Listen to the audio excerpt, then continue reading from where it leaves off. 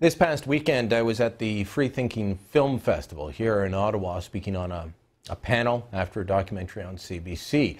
The man you're about to meet was also there, Majed El Shafie. He was there showing a film about his story. It's called Freedom Fighter. And before we bring Majed on, we want to show you a little bit of his story, which includes torture in his native Egypt. Torture section, that's what they call it, torture section. Officers that they are torturing you, they are always wearing masks. So you cannot see their faces. And they never call each other by names, they call each other by numbers. Uh, they burn me with, with uh, cigarettes. Um, they beat me very hard. They pulled my nails um, of my right feet. Um,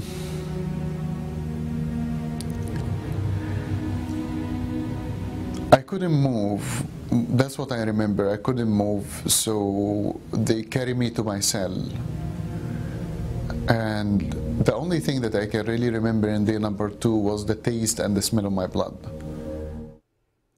A powerful story from a powerful man, and you will meet him now, Majed El Shafie. Um, Majed, what I didn't tell the viewers is why you were tortured, why you were burned with cigarette butts, why you had your nails pulled out, and why you were beaten. Uh, it's so you know some people might think you must have done horrible things to deserve that, but it's much simpler and much more frightening than that.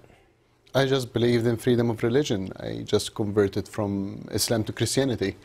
And it's not a matter of debate of religion, it's a matter of freedom of religion. Mm-hmm. Uh, in, in, in, our world today, uh, there is one persecuted Christians world, uh, every three minutes worldwide. Over uh, last year, over 165,000 Christians was killed for their faith.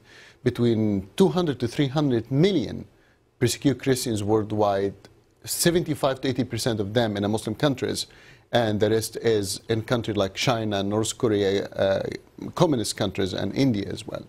And this is the fact on the on the ground.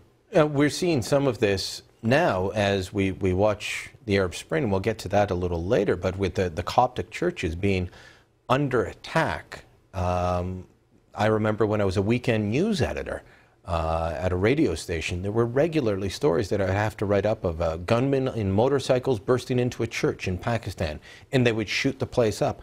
This doesn't get a huge amount of attention, though. Why? Uh, I, am asking myself the same question, and I, I'm assuming because we are a country, we become more concerned about being politically correct than being correct. And this is the problem that we're facing. Uh, the problem with the Canadian society today that we don't want to take sides.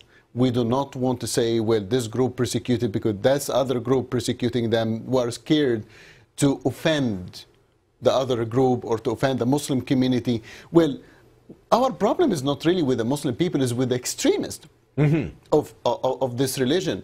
And if you ask me, the worst dilemma that facing Islam as a faith today is not the rising of the extremists, is the silence of the moderate Muslims. Why are you silent? Don't tell me they hijacked my religion. Well, why did you let them? That's a good question. Uh, you also defend Muslims that are persecuted as well. Absolutely. You, you formed a group called One Free World International? That's correct. Okay. And you go around the world and you deal with this. You've testified before Commons committees here on Parliament. Mm. Uh, you've gone around the world to, to uh, spread the idea of freedom of religion, and Muslims are persecuted as well in places like China, uh, and, and you Uyghurs. speak up for them. Yes, absolutely. We speak for the Falun Gong, for the Uyghurs, which is the Muslims in China, Baha'i, Ahmadiyyas, uh, any group that will be facing persecution because their beliefs will stand with them. However, the persecution that we're facing today with the Christians, you see, any, any of these groups, you can talk about them, media will listen. Mm. People will listen. When, you come, when it comes to the persecution that's happening to the Christians, which is the most persecuted groups around the world, everybody's silent. Well, I, I, always found it amazing the number of stories that you'd see about one pastor in the United States who threatened to burn the Koran. I think he eventually did, but when he had threatened to, mm. world leaders were standing up and saying, don't do this. The same didn't happen as people were being shot and killed for being Christians in other countries. Is that part of the same uh, fear of political correctness? And if so, what do you do about it when the political leaders are afraid to say anything? Well, you, you don't elect them. You don't vote for them. Is as simple as that. Yes, it is part of, of the of the politically correctness uh, movement what, that we're seeing in our society today. However, the like even the, the, the, the, problem with the political level, even right now, our Canadian government is building the Freedom of Religion Office. Mm-hmm. This is just something brand new that building, and, and I want to thank our government for doing that. However, do you really believe for a second that this office will stand up for China? Listen, this office will be great when it comes to Iraq, Egypt, Pakistan, Afghanistan, all the countries that is easy to confront them. But, but not China. Not China, no. I, I, the State Department in the U.S. has something similar, and I think that Hillary Clinton actually does, but I don't know that our government will have the strength to do that.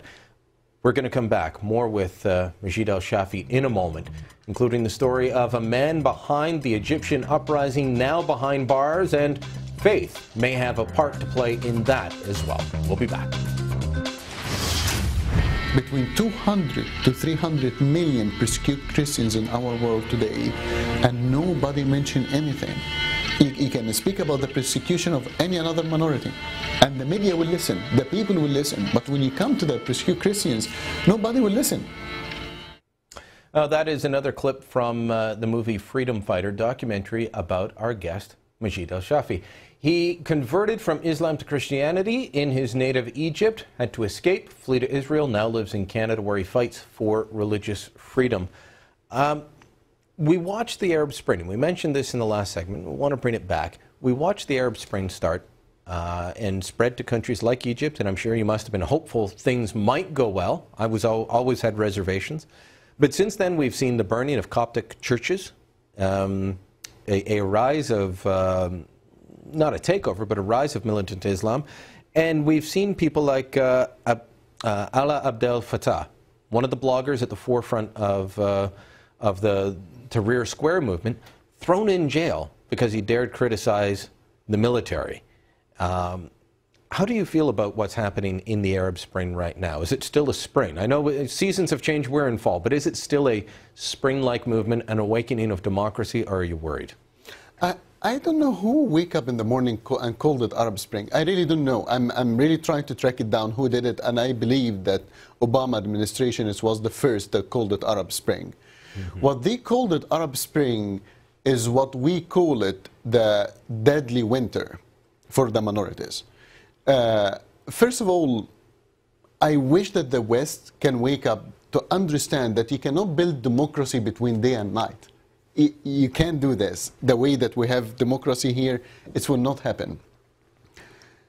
Is the dictatorship have to go? Is Mubarak have to leave? If we are just talking about Egypt for a yeah. second here. Yes, Mubarak have to go. He's a dictatorship. He killed a lot of innocent people. I agree. But after 30 something years, when you take some, somebody like this, you create a political vacuum that the Muslims extremists, like Muslim Brotherhood or the Salafiyin, will use it to control the country and it will make it worse to the minority and to Israel, for example, their neighbor, and the ones well, that they have we, a peace We saw this in Iraq. Uh, yes. Even with the Americans in, Iraqi Christians have had to flee. This is a mm. 2,000 year old community, the Chaldeans. They have had to flee uh, many of them settling here in Canada because it's just not safe anymore. Do you think that will happen with Coptic Christians and other Christians in Egypt where they've been since the beginning of Christianity? Absolutely. I was just in Iraq two months ago and I met with the Prime Minister and all the Iraqi government. The problem that we are facing right now that you cannot have democracy between day and night and we hope that we understand this.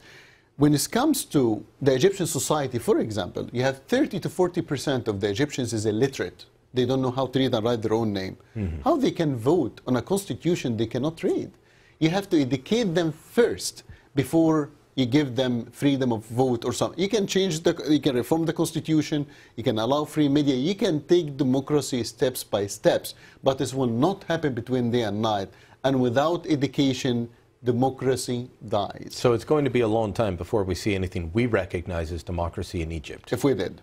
If we do it all. Uh, your thoughts on, on how things will play out for the Copts and other uh, religious minorities in uh, your homeland over the coming years? Uh, the evidence show that there is uh, uh, 11 attacks up to now since the January 25 re- revolution uh, against the Coptic Egyptians. Uh, 11 attacks that we are aware of, or the media was big enough that the media was aware of. Ended by the October 9, the massacre of Maspero, that the, ta- the armed vehicles run over the people and, and kill them. So I think it will get much worse before it get better if, if it do. Yeah, and that'll be sad. Some of the uh, earliest um, sites of Christian uh, history Absolutely. in uh, in your country. Uh, well, in your homeland. Canada is your country now. And thank you very much for sticking up for pleasure. religious freedom and pushing it around the world. Thank you. sir.